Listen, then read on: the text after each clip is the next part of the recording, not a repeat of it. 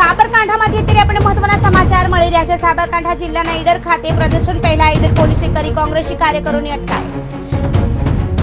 ગુજરાત પ્રદેશ કોંગ્રેસના આદેશને લઈ આજે સમગ્ર ગુજરાતમાં પેટ્રોલ અને ડીઝલના ભાવ વધારા સામે વિરોધ પ્રદર્શન કરવામાં આવ્યું. ઈડરમાં આજે ઈડર તાલુકા અને શહેર કોંગ્રેસ દ્વારા વિરોધ પ્રદર્શન કરવામાં આવ્યું. ઈડર આરામ પોલીસે કાર્યક્રમ પહેલા વિરોધ પ્રદર્શન કરી રહેલ કોંગ્રેસ કાર્યકરોને અટકાવ્યા. ત્રીસથી વધુ કોંગ્રેસી કાર્યકરોને ઈડર પોલીસે અટકાયત કરી.